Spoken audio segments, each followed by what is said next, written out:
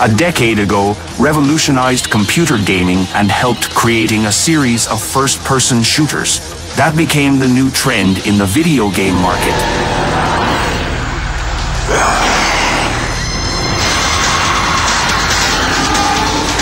The most famous of these games was of course Resident Evil. The trend of PC games that are adapted into movies in recent years works the other way around too. Well-known films are adapted into video games for computers and game consoles, such as Evil Dead. That has already three different installments, with Regeneration being the last one, but also The Thing, as directed by John Carpenter.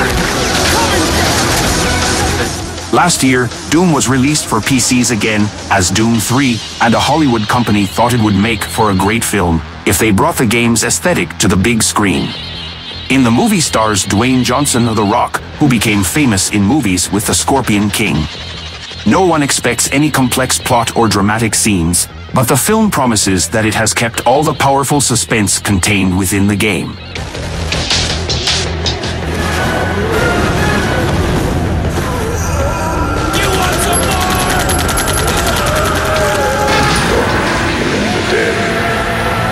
They're mine.